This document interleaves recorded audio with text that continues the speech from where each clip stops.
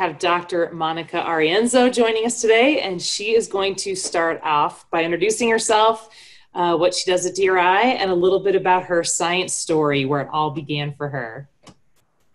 Excellent. Thank you so much. And thank you all for joining us today. I'm really excited to have the opportunity to get a chance to share a little bit about my my work and what I'm doing up here at DRI. Uh, my name is Monica Arienzo, and I am a professor at uh, DRI, and I'm in the Division of Hydrologic Sciences.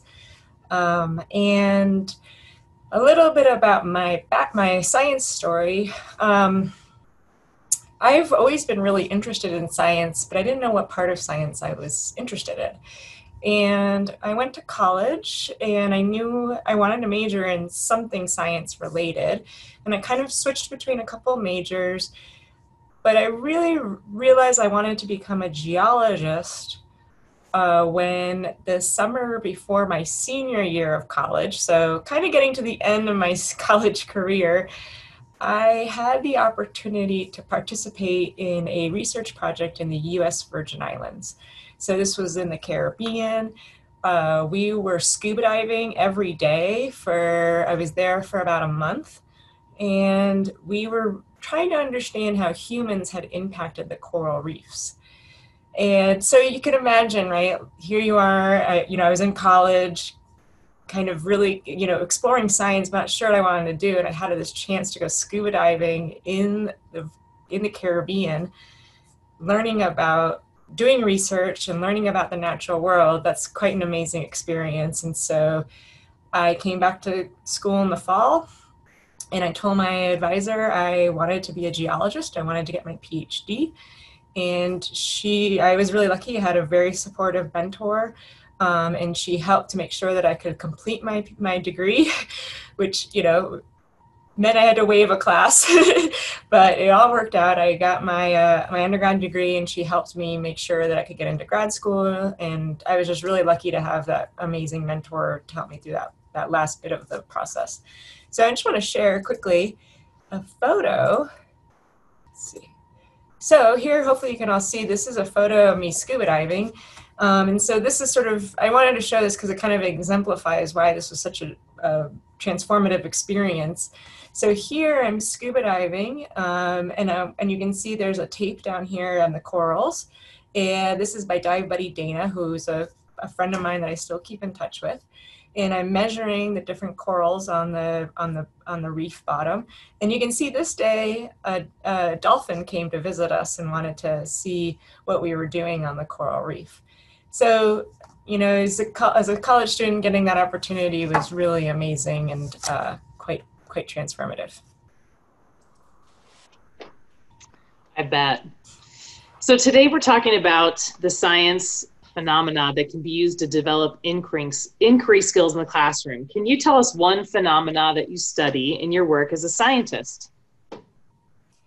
Yeah, it's a great question. So I wanted to start with talking a little bit about some of the observations I first made about this. So when I was, um, you know, walking along the Truckee River or driving along, you know, the highways here or even hiking in the mountains in remote areas, I noticed that there would be trash in these areas where people weren't. And this could, you know, this could be little things like a wrapper or bigger things like plastic bags, all the way up to big styrofoam coolers. And I find these in places, in remote places. And I started wondering what happens to all of this trash, right? It must go somewhere because we don't have mountains of trash everywhere. And so, at the heart of this is that every year since the 1950s, we humans have produced more synthetic particles, plastic, sorry, synthetic plastics that aren't biodegradable. And so every year we create more and more and more of this plastic material. It's not biodegradable, so it's got to go somewhere. And so I wanted to just quickly share some photos that um, we've been really lucky to have. Uh, either these are some photos that have come out in the news recently, and uh, shared by some of our friends. So this is, uh, the middle photo here is showing some of the trash that they collected in Lake Tahoe. This is through the League to Save Lake Tahoe that's done uh, beach cleanups. And you can just see the amount of trash that they found in the beaches after 4th uh, of July, for example. And you can see a lot of that trash is plastic. This, and on the uh, right-hand side, is a balloon that got trapped in a bush. And so this is one of my um, favorite examples of plastic trash because most people don't realize that those mylar balloons you buy are plastic. And you let them go, and then, well, they end up in remote places and pollute our environment. And then down here in the bottom uh, left corner, those of you who are in Reno, you might remember this winter we had uh, an RGJ article about how people would come and go sledding and then their sleds would break and they'd just leave them. Well, what happens to all of that plastic? So in this photo here, um, this was a really nice photo that actually one of our volunteers took for us. Her name's Laura, and she took photos of trash she found in one of in her uh, in her site that she was uh, helping us study, and she circled with the green circle uh, in each photo the trash she found. So it's a little hard to see, but these are uh, these are pieces of trash that are basically trapped in grass. And so now, you know, we went from talking about sort of this big, you know, like the sleds, the plastic sleds, right, the big trash. Now we're starting to see that there is this smaller trash in the environment.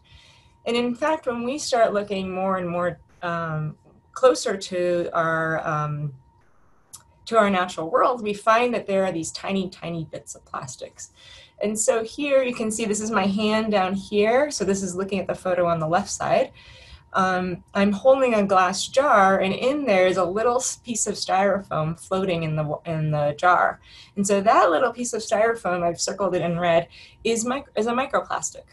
So a microplastic is anything smaller than the size of a sesame seed. And so you can see here on this uh, photo on the right, this is also an example of microplastics. So those big plastic uh, pieces of trash that we see are breaking down into smaller and smaller bits. And so I look at the phenomenon of these synthetic plastics in our environment. When and when these when these plastics break down, they get into these very small particles. They can be as small as bacteria, and some research is showing they can be even smaller. And they can be transported in our water and move all throughout our waterways. And so that's the phenomenon I study.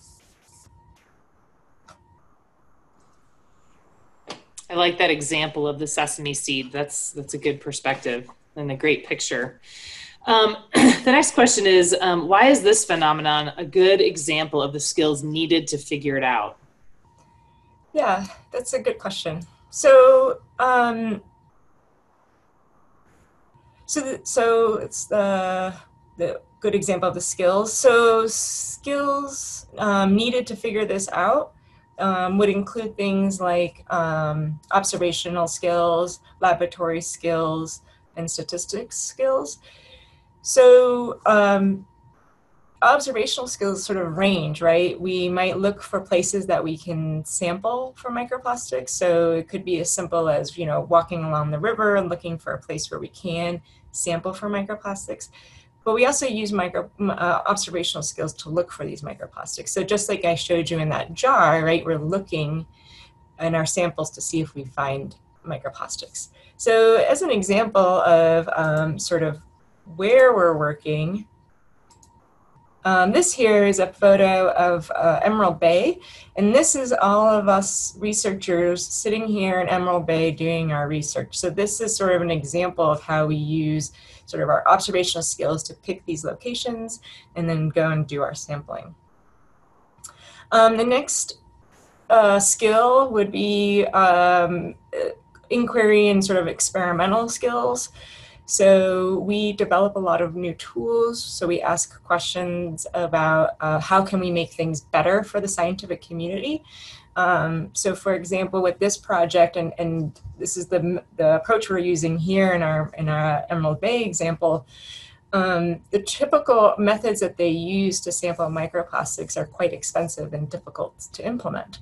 And, um, and so what we developed was a cheaper, uh, more lightweight uh, way to sample for microplastics. And our hope is that by introducing a cheaper and easier method that we can get even more people to study microplastics. And then lastly, the skill we use would be statistics. So when we measure micro measure for microplastics, we want to know is there a statistic statistical difference between sites, um, maybe different sites between sites and things like that.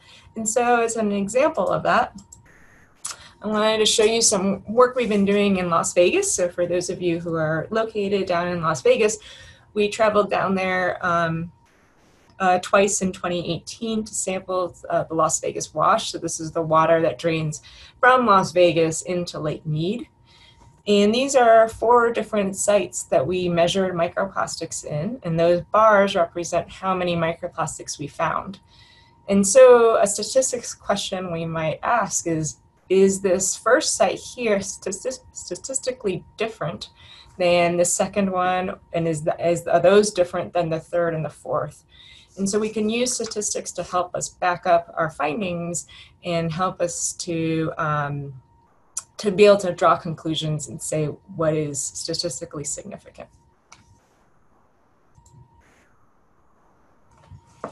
In terms of kids, I guess in your opinion, why do you why should care kids care about this topic? Yeah, that's a great question. I yeah, I've been studying microplastics for about three years now, and the thing that's really struck me about studying this is it's a it's a local issue and a global issue. So, um, you know, I think it's you know a great a great thing for ch- kids to be motivated about and to care about you know, locally we found microplastics in our waters, um, in here in Reno, and then like I showed you in Las Vegas as well. We've also found them in snow up in uh, up near Lake Tahoe. Um, and so, you know, I would argue that it's important to study plastic as uh, these are man-made materials and they are persisting in our environment. And um, and they can, studies have shown that they can negatively impact wildlife um, we don't know yet if they can impact human health. I think that there's still some work that needs to be done in that area. Um, but one concern, for example, is that a chemical or a microbe might attach onto the piece of plastic and then it can be ingested by a human or by an animal, and then that could then cause um, negative health effects. So we still have a lot of work to do. Um, and like the poll Megan uh, created in the beginning really nicely showed is that you know we still have a lot of work to do to reduce microplastics but the best thing each individual can do is reduce single-use plastics in their daily lives great. That is important. Um, the next question is um, talk about patterns. Like what is the pattern that you study related to this phenomena? So the pattern I study is uh, trying to understand where where are microplastics in our freshwater environments, and this is really important because plastics have a range of density. So what this means is that some plastics will float in water, and some plastics will sink. So this makes studying plastics difficult, but it also makes it really really interesting and fun as a scientist. So um, so, for example, if you think of, uh, if you're familiar, for example, with uh, Winnie the Pooh and Pooh Bear's game of Pooh Sticks, uh, and if you're not, if you don't remember, that's okay. I'll remind you. this is when Pooh Bear and his friends tossed sticks off of one side of the bridge and then ran to the other side to see who's crossed the bridge first. And they they uh, it went into a stream below them, and they also threw a rock off of the bridge. And so, what, you know, as we know, different sticks are going to be traveling at different rates, right? And this is going to depend on what this, the sort of what the stick is like, like how rough is it? Does it have a kink in it? Um, and it's also going to, and it also depend on the course of the river itself. And so, and um, and in contrast, right, if we throw a rock, it's just going to sink to the bottom. So um, and so this is very similar to when we think about plastics, right? Some of our plastics are like the rock. They're going to just sink because they're dense. But in contrast, a lot of our plastics are like the sticks. They're going to float, and they're going to float at different rates down the river depending on their, you know, their own composition in the course of the river itself. And so, um, going back to your question about the patterns I look at, um, I want to know where are these plastics being found and what patterns can we find and where they're located. So um, you know, in Reno Sparks, we might want to know about the Truckee River. So are those plastics sinking to the bottom and not, not going down downstream? Or are they traveling downstream and maybe they're getting stuck somewhere and we can find them somewhere else? Um, and similarly, we can ask the same questions about the Lake Mead watershed. Great. Um, what is it about this phenomena that provides investigable questions? That's a great question. Um, and I, I think that what makes this phenomenon, what makes this, what makes it, what, what about this then provides investigative questions is that there's a lot of different elements that can be looked at here. So I've already described kind of how plastic density can, can um, vary depending on the type of plastic. Um, and so I think that um, provides investigable, investigable questions. um, and you know we can also ask we can also think about questions related to the river itself so the, the transport vehicle the mechanism that we're moving these plastics um, there's all sorts of other things you know we can look at including things like what is inputting into the river so are there other streams is there snow coming in um, is there, you know, um, a big trash source nearby?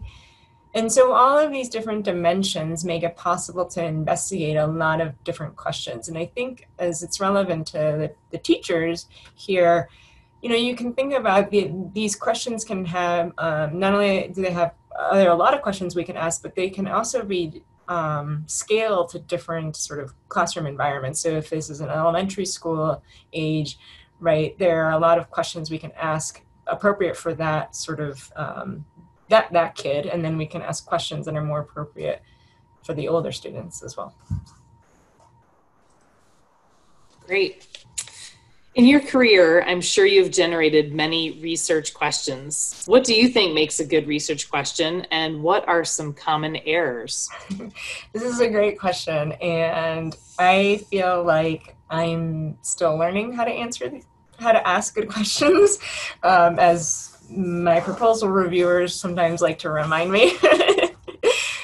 but you know, I think um, you know the basics that I always recommend that my students think about is you know a good question is one that you can test right we know this uh, we want to be able to answer it by direct observations so for example we can we can count the number of plastics that are floating versus how many plastics are sunk in a river, right?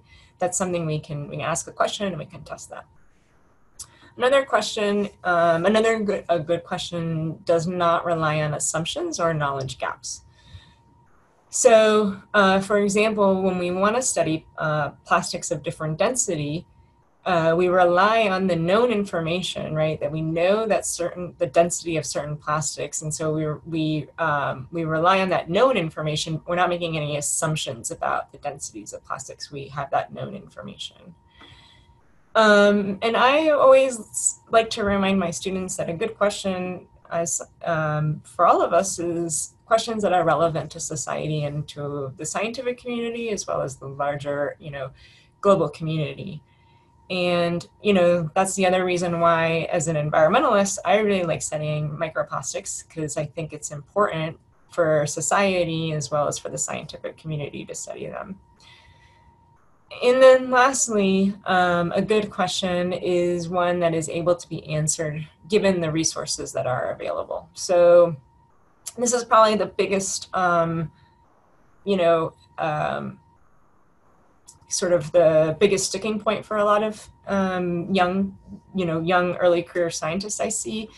You know, you'll start with a question like, I want to solve microplastic pollution for the whole world, right? Okay, well, like that's not really doable for, you know, for me, I, I mentor a lot of undergraduate and graduate students, you know, that's not doable in a short time frame, whether it be a semester long project or a five year PhD. So um, I think is able, you know, being able to formulate a question that you can feasibly answer with the resources is really important. And um, you know, I think number four is probably the hardest for me still because I want to answer those really big questions, and sometimes I have a hard time narrowing it down to a, a doable question. Good to think big, though. you mentioned mentoring. So, a big part of your job is mentoring these future scientists and teaching people how to think. What advice do you have for to help students move from just memorizing things to asking questions to figure something out? Yeah, I think this is a really important point, and you know, I think I was definitely more taught in the like memorize things way. um, and I think I still see, you know, a lot of our undergraduates still really struggle with this. I think they want to they want the answer quickly and they want to be able to memorize it whereas, you know, what we do, we don't know what the answer is and um and so you know, we don't you know, I guess when I do science, I, yeah, I'm in my office right now, but most of the time when I I'm thinking about questions I want to ask, I'm making observations. And for me as a geologist, a lot of those observations are coming from the natural world. And then, you know, like I said earlier, I'm a big picture, I'm a big question person, and then I have to narrow them down to make sure that they are, um, you know, re- can be reasonably addressed. Um, so I usually have students do a similar approach. I have my students start with observations. So I recently um, had an undergrad start in my lab as a sophomore in college. In college, so she was still very new to this process of how to ask questions. And what I, you know, process we had her go through was um, she had collected some data, and then I had her look at the data and just spend one week, and I was really trying to encourage her to just be creative and play with the data see what you know what can you find and you know you have these tools you know about statistics and you know about you know how to plot things and and just play with it and make some observations and see what comes out at you. And so i gave her the assignment of listing five observations and then five questions she still had about those observations. And so um, and so then you know this is then where i came back in and kind of helped her formulate those questions and then um, and then you know we went from there um, and that that seemed to work pretty well um, you know i'm really lucky i get to work one-on-one with my students and i know most people in this room you know don't get that one-on-one with their student but um, i think you know observations is a, a really great place to start and trying to formulate questions from there. Great. We had a few questions um, that teachers asked ahead of time, and I was going to ask a couple of them. Um, one of them is um, Is there anything students would be able to do as an experiment to illustrate this problem, um, how it occurs, or how to combat it? That's a great question. Um, so, we um, we will be sharing with you all some activities we've made, um, specifically looking at the exploring the density of plastics. I think um, that's maybe sort of like elementary, middle school level, and it's really, uh, especially with everyone being at home now, it's kind of a fun way to learn about density and and learn about how even at home we have plastics that uh, will float and some that will sink in water. So that's really nice. Uh, and then you can even use different you know you don't have to use water you can use liquids of different densities so that's a really nice um, sort of experiment. It doesn't necessarily illustrate the problem of microplastics but at least gets uh, students exploring a little bit um, some other things i would i always recommend doing and i've done this myself and it's really uh, quite interesting and you learn a lot about yourself as i um, i collected um, single-use plastics that i used in one week. Uh, you know i had friends that would like like make a single-use plastic necklace or whatever right? You know however you want to do it but uh, you could even just keep a note a log of like every single use piece of single use plastic you use. And it's amazing how much you use and discard in a week. And even like when you're trying to conscientiously not do it there's still so much plastic you know like you buy something at the grocery store that's wrapped in plastic like oh you know. So that was that's another really fun way to kind of think about um, your impact beyond um, beyond yourself um, and then the other one I always like to recommend is that everyone take a look at the um, the tags on their clothing. Um, you'd be amazed, you know. Uh, the, I love my stretchy pants, right? They're really comfortable. um, but the stretchiness comes from it being made out of plastic. And so I think um, for, you know, another really fun activity is just to look at the tags on your clothing and Google what they're made out of. And it's pretty amazing how much of it's plastic. That's very relevant to kids today. Their stretchy pants. That's great connection. Um, speaking of students, is it possible for students or a class or classes to participate in one of your research projects? Uh, for example, collecting, reading, analyzing data, running trails, etc. Yeah, exactly. Um, totally. Yes. Um, I currently write. Well, pre-COVID, I had a high school student in my class in my lab, and he was looking at looking for microplastics under the microscope. So he was taking photos under the microscope, and then we would talk about what he was he was looking at. Um, and I think you know when you study a topic that's um, you know been in the news and people are aware of it, like microplastics, I think it's really um, you know, I think it's a wonderful opportunity to engage students in the scientific process and learn about what we're doing. So yeah, and we're always interested in thinking up new ideas, and um, you know, and we're open to hearing if you all have any ideas of ways we could engage students. Um, yeah, we're totally we're totally excited about that, and would love to do that. That would be awesome. That's great. Um, Megan, do you have some? So this, so teachers, if you have some questions, this is the time you can click the chat button and ask a question, and Megan will either call on you to ask it. So you have to unmute yourself and turn on your video so we can see. Um, I know sometimes that takes a little bit of time, or she can ask it for you. So we will move to uh, teacher questions. Thanks. Yeah, thank you. I have there are a number of questions in the chat that deal with the impacts of microplastics as an emerging contaminant. Um, but I'm going to first pull a question from the the registration questions that I think will segue really nicely to the questions in the chats. And so the question is, what threats do microplastics pose to human, animal, and plant life? And then we can dig into that question of toxicity a little bit more. Yeah, that's a great question, and I um, I didn't I didn't I kind of skipped over that part a little bit. Um, so with any emerging contaminant, you know, we're always still learning more about it. And I think right now with microplastics, we are learning a lot more about it. Um, and there's still a lot to be done. So as far as the toxicity, um, we know it is, it, you know, we know large pieces of plastic for sure can be harmful if ingested um, right? It can result in choking. Um, you can have abrasions and uh, other like gastrointestinal issues. So we know that, and that makes sense, right? When we think about uh, ingesting a large particle. Um, when we talk about, you know, when we get into the smaller microplastics, we don't really know. Um, there are studies that have been done looking at the impacts of microplastics on um, uh, clams and mussels, um, trying to understand what happens to them. And there's some indication that microplastics can have a negative effect.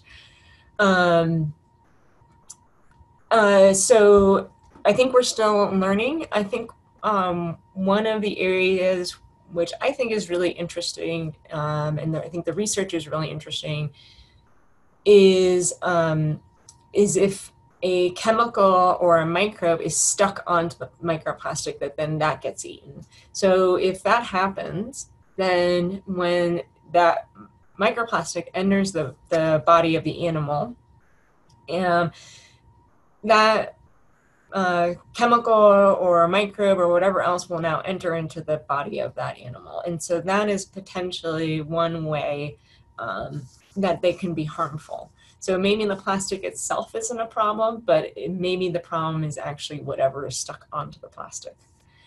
Um, and so, and then as far as human health impacts, um, we just don't know that yet. So, um, we don't know uh, if microplastics are in our drinking water. Uh, we don't know, uh, you know, we don't know if there's a human health impact I, I don't think that there probably is a significant human health impact because if we think about it plastics are used so often right? We use them in the medical world all the time to you know if you've ever gone had to get an iv right? Everything's plastic. And so is there a potential human health effect? There might be but i would be surprised if it was really um, if there was a serious health effect. Thank you so um, we have a question from Sonia. She's going to ask about one specific area of testing. You feel free to go beyond to explain what you have tested. Sonia Foster, are you there and want to ask yes, your question? Yes. Oh, yep. I, I, you were just talking about it. If you had tested tap water yet. Yeah, that's a great question. Um, I we have not tested tap water yet. Um, currently, Calif- state of California is considering a microplastic um, drink level for drinking water, and so in that case, there would be a lot more testing happening. Um, I'm really interested in that, and that's something um, that we've been th- talking about how we can do that and what that would look like and what the process would be. Um, so yeah, I, it's a great question and something definitely really interested in looking into in the future. And and one other to go on, I'm on well water. Mm-hmm. So do they have when they do testing on well water? Is that part of it, or is it another specific test we'd have to request? So currently, there's no like approved testing for um, microplastics in water. So when you do send your, you know, I also am on a well, and so we send our water to the lab. It gets tested, right? Those are certified labs that have certified procedures, so they follow very strict guidelines. Um, they're regulated at the uh, federal level uh, by the EPA. Uh, and so that way, if you send it to one lab or, or another lab, you should always get the same answer, and that's why they do that. So currently, there is no um, standardized method for microplastic testing in water. Um, part of what California is trying to do with uh, with setting uh, regulations for drinking water is establish that methodology. So, yeah, um, so stay tuned. Maybe someday in the future we'll be able to offer that. Um, but I do think the question about well waters um, is a really, really interesting question. And um, yeah, something hopefully in the future we'll be able to do. Wonderful. Susan Ritter, do you want to ask your question? I was just wondering if you just study have been studying the water in Nevada, or if you've had anything to do or any interaction working with the ocean plastics. So um, yeah, it's a good question. Um, so we have only been looking at, for microplastics locally uh, within uh, Nevada. So just looking at plastics in Lake Tahoe, the Truckee River, Las Vegas Wash, and Lake Mead. Um, I uh, you bring up a great point there that I also didn't talk about, but um, one of the big concerns is ocean microplastics. So if you've um, seen any information out there about the uh, the uh, Great Pacific Garbage Patch, so it's a gar- it's uh, basically within one of the gyres in the oceans, and this so this is where the currents of the oceans have basically uh, pushed all of the trash into a giant garbage patch basically in the in the middle of our ocean. And um, and so there's a lot of the concern about if you know these we can physically we can see it right? We can see it from space. So these are very large pieces of trash uh, but the concern is that that could be breaking down and becoming a source for microplastics for the rest of the ocean. On top of all of the other human impacts from land into the ocean. So yes i think um, the study of microplastics in the ocean is really interesting. Um, we just decided to ch- choose freshwaters because we're in a landlocked state. so that's why we focused on that. And plus, you know, it's the freshwaters are important because it's our drinking water. So that's why we wanted to focus on that. But the ocean plastics is a really interesting question. So I'm going to ask a question from the registration list of questions. It's going to segue nicely to some of the questions that um, teachers have asked. The question is, um. Um, what are some ways to prevent microplastics from getting into the water? Yeah, so what are some ways to prevent microplastics? Um, it, that was the question? Yeah. So um, the best thing to do is limit use of single-use plastics. Um, I think we're still the, you know, the science itself is still developing. So I think exactly what are the biggest sources to the environment, we don't quite know yet. And we're really hoping to be able to provide, you know, people in Reno with information about the number one biggest source of microplastics to the Truckee River is tire wear and tear, whatever it might be. Um, and so we would really like to be able to do that. We're just not quite there yet with the science. Um, but I think, you know, biggest thing, you know, as an individual you could do is just reduce single-use plastics. So that's things like, um, you know, reuse your your coffee mugs. So bring your coffee mugs to the uh, cafe, right? Instead of taking theirs that might have that plastic cap on it.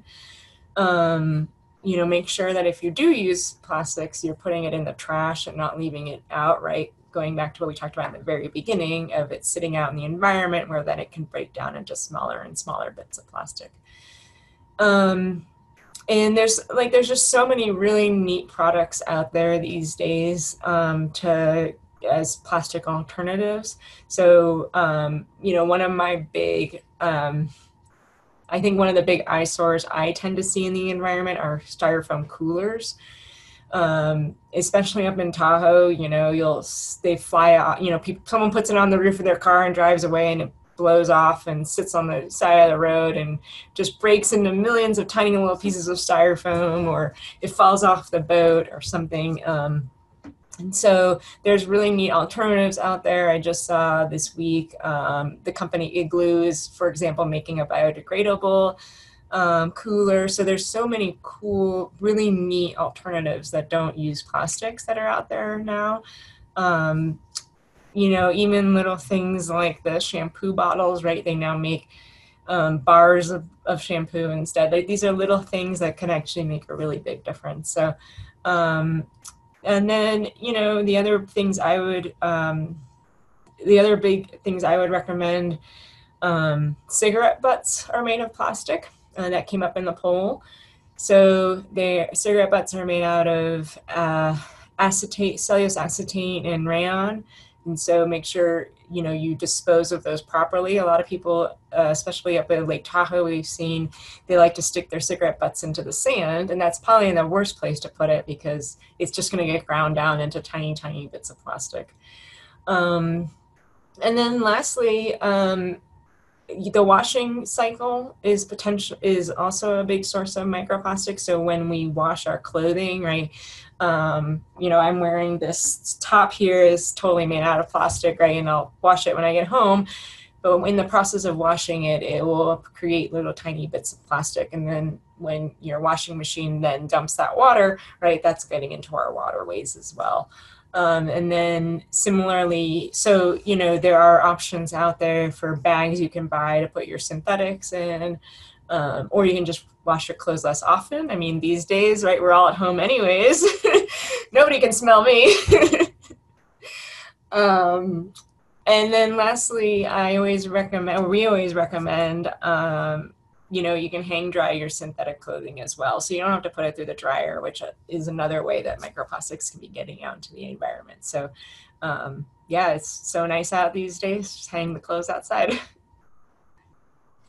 Perfect. Next question is from Anna Radif. Are you there?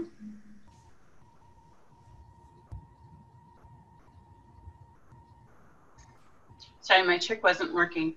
Um, I think she kind of covered it already. I was I was asking what, um, for example, is there a type of plastic that you're finding more often, and and are you able to trace that plastic back to the source like is it mostly from like you said like from tire tread or from water bottles or whatnot? Yep, that's a great question. And I don't think we're quite there yet to answer that question, but I was reading an article about um, plastics they found in the San Francisco Bay. And so that would be kind of a similar sort of situ- situation to what we have here. Um, it's probably a little more, you know, more urbanized in the community surrounding San Francisco Bay than we have, but it could be um, kind of a comparable sort of comparison. Um, and there, interestingly, they did find um, they found fibers were very present in their water there, um, and so fibers would be derived potentially from clothing. And so that was really interesting, and that kind of leads to questions then about can we do things about the washing process? So one proposal they had in their in their um, project summary was to that the city of uh, or the, the counties should require that washing machines have little filters at their outlet and that that could then capture those fibers so um, that's really interesting um, some studies have been coming out showing that tire uh, rubbers are, are very present in our waterways as well. And the thought there is that it has to do with tire wear and tear. So as our tires, right, um, where does all where does that tire rubber go? it's so you know so once you start thinking about it, you're like, oh yeah, like this much of my tire wears away every you know however often I have to replace them. Where does it go? Um, and so they've been looking in storm drainages near highways, and they've been finding these little beads of rubber in there. Um, and so that is one potential um, source as well that I think we're going to hear more about as the science develops. Yeah, that's really interesting. I never thought about the tires. I was always, you know, thinking about things that we use. But yeah, that so that's great. I never never would have thought of that one. Yeah, I know. Me neither. Until someone brought it up, like, oh yeah. So there are a couple questions about, you mentioned processes of breakdown of tires and clothing, but a couple breakdown, uh, a couple other questions about the breakdown process. Janie, do you want, Janie Sherwood, do you want to ask your question about that? See if there's any other uh, channels to break down um, that Monica wants to talk about. Yeah, here I am. Uh, hi. Yeah, I guess it's just following up on what you already just spoke about but I'm just wondering, you know, how quickly, say, because in my mind too, it's like water bottles and the plastic containers that you know the strawberries are in. Um, how long does it take for those containers to turn into microplastics? That's a great question. So I don't I don't know if anyone's done the calculation for the time to, to form microplastics. But we do know that things like um, exposure to sunlight or UV light, that that will increase um, the, the degradation time. So, for example, at my house, um, I uh, in my garden I was storing um, some stuff in some like you know five gallon buckets, and I just had it sitting out there, and it was sitting out there you know since last summer, right? And so I went to pick up the bucket, and it just started crumbling into these you know bits of you know guess I'm keeping myself employed, right? um, and and the reason why that happened is because the, that container had been exposed to UV light, and that UV light causes the plastic to just kind of get very brittle and break into these little tiny, tinier microplastics much more easily than it would otherwise. Um, so we I don't know uh, exactly the time it would take, but we do know that things like exposure to UV light. We know that um, wave action. So if you have a, a, plastic water bottle that's located, you know, on the shore of Lake Tahoe or the uh, on the beach where there's waves that are going to be um, sort of um, smashing against that plastic, then we know that that wave action can break it down. And then abrasion. So um, if we think back to you know the cigarette butt that someone sticks into the sand, right? Someone then walks over that sand then that abrasion process, all those sand grains are then going to help break down that micro, that um, that cigarette butt into microplastics. So we've been seeing more work being done at looking at all these different processes and how they how they result in creating microplastics. Um, but I yeah we just we just I haven't heard much about time, but it's a really good question. Nice. Now that we've talked about the mechanisms to break down, Christina Stark has a question about taking that into the classroom. Christina? So I was thinking about this as well, and it would be kind of fun to have students take different types of plastics. And could they use something maybe like a rock tumbler to see how long it would take to break them down and and would a rock tumbler work? It sounds like it might. I'm just wanted to get your opinion on that. Totally, yeah. I can picture how a rock tumbler would work. So you have um, like a drum and you put your microplastics in there or your plastics in there. And then you could you would add your sand or whatever you're going to use as your abrasive um, additive and then you would start your rock tumbler and then you could open it up after a certain amount of time and look inside and see you know are those plastics you know if you put your lego piece in it what does it come out looking like afterwards and it's not going to probably look the same so totally i think that's a great idea um, to as a way to, to look at abrasion totally definitely yeah it's a great idea Great. Kathy Zuber, you want to ask your question?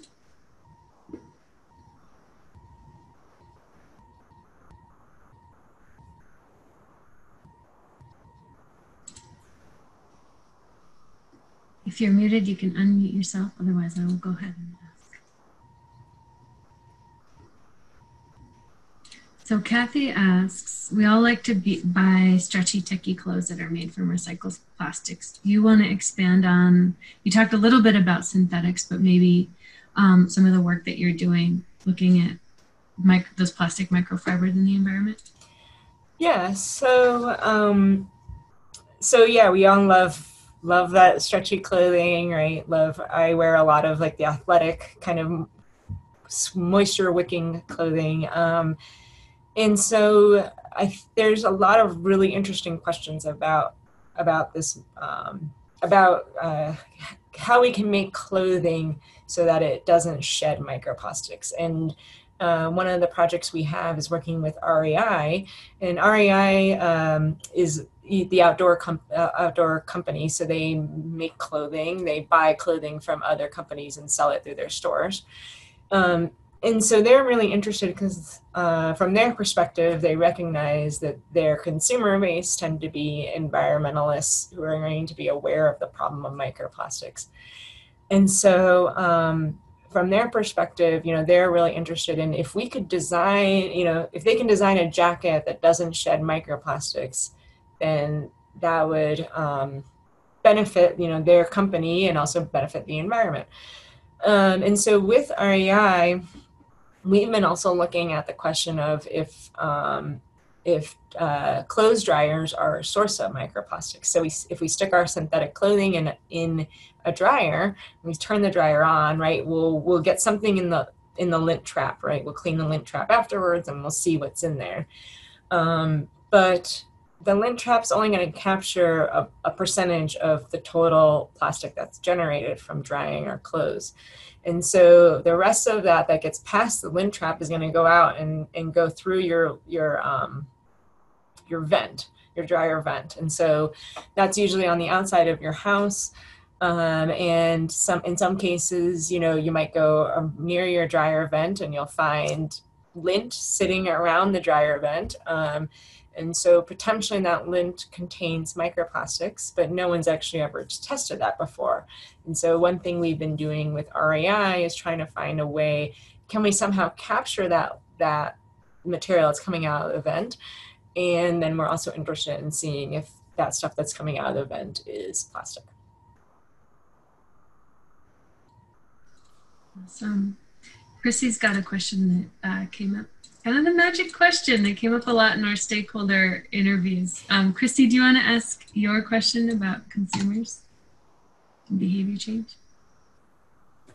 Um, I know that this is getting a lot of attention right now. We know about the issues involved with the plastics and microplastics. Um, there's big movements out there like Break Free from Plastic, the new documentary, The Story of Plastic. So people are aware of the problems, but how do we get them to move from caring enough about those problems to change their purchasing behaviors away from convenience and more towards sustainability? Yeah, that's a great question. And uh, I'm really lucky. I work with a lot of really smart people who know a lot about how to change how to change people's behaviors, and they study this. Um, and so they have told me this was all new to me. Um, education is, is really one of the best ways to do that. So, um, you know, if you've seen um, the signs up in Tahoe, there's the, the Take Care Tahoe uh, group, and they create these really clever signs. Uh, they have one right now that's go big on social distancing, and it shows like a biker and a, I do, but I don't think it's on. Oh. Can you guys hear me? Are you good? Okay. Um, Hello. So, um, so you know, if in order to help change behaviors, creating uh, some sort of educational campaign with a group like that um, would be a great way to do it. Um, I know that the group up at UC Davis, up at Lake Tahoe, um, the Tahoe Environmental Research Center, they've been talking a lot about how to, um, you know, promote um, reusable plastic bottle or reusable bottles and instead of plastic bottles in places like um, the grocery store, for example. So making it easy for people to make those choices um, also can really help as well. Yeah, and so Megan just put in the chat uh, for everyone that um, Take Care Tahoe link. And so they're a really great group that does some really clever messaging for environmental issues. And so hopefully someday we'll get to work with them and, and get them to help us move the public perception around plastics as well. Monica, you've done a lot of um, news and educational interviews. What are some of the things that you find are either common myths or things that you really just want the public to know about uh, solutions to microplastics that maybe you haven't mentioned or um, since we just have a couple minutes left, I thought I'd leave you the the option to um, say give one last thought. Um, so I guess I think one of the big um, take home message that I would uh, I would love for all of you to take away from this is, you know, this is a, a, a topic that's gained a lot of interest recently, but we don't have all the answers yet. And so for students, um, you know that's so exciting and it's literally it's one of those questions it's one of those topics that literally any question you ask can help help solve the problem of microplastics and help us better understand microplastics and how often you know i i just feel like there's so many opportunities out there and um, i think it's a really exciting field to be in i'm excited when i see students getting excited about it um, you know, unfortunately, I'm not going to solve it. My generation probably won't solve it, but you know, the, our students will be the ones to solve it. I'm certain of that. Um, and so I think it's a really, it's a really interesting topic, and I think that, um, yeah, there's just so many questions left out there that there's so many opportunities.